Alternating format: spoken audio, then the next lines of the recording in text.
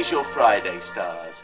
Early on in the day is very good if you want to deal with domestic, home or family concerns, anything like that. But if a party coming up, is it a birthday or maybe the Chinese New Year is the only excuse you need?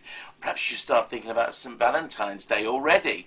But more seriously, the moon moves into your sign later on in the day and that is superb for just being with groups of people. I tell you, told you earlier this week, someone is going to stick out. Someone important, influential, powerful. Don't judge a book by its cover. They may not be as you expect them to be. But I tell you, very soon you're going to meet someone who can change and transform your life. And the way to do it is get out there and be with people and be part of the.